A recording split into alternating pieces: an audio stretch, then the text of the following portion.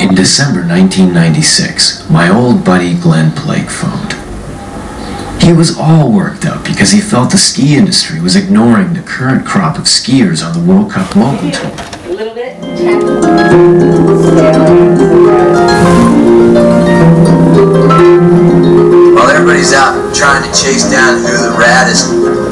Professional hucker is, we got world champions in our country and they can't even get a pair of free skis. It's time, you know. I mean, uh,